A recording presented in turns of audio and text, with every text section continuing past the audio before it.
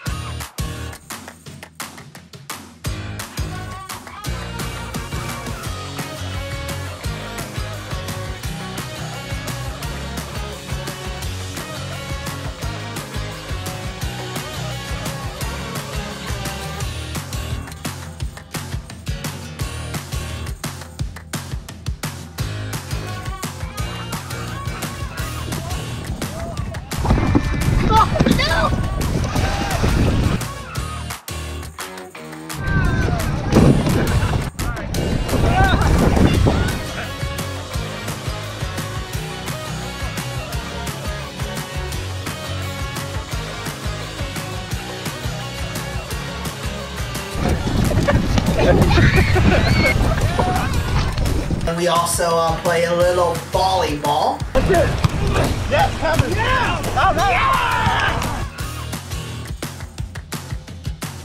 Yes. I got it. I got it. That's teamwork. Yeah.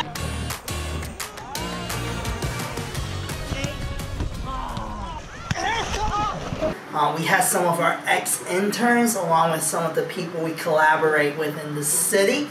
Um, it got a little out of hand. I mean, we had a lot of hot bodies showing off and everything, hot bods and a lot of um, athletic action. I mean, Jake Hilperhauser really showed his stamina.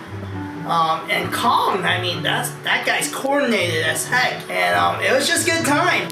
But at the end of the day, this is what champions look like. Our team took the obstacle course. You know, we just killed it. So the challenge last week was just a little different. And hey, we'll see you for the next one. KC Summer Challenge 2018.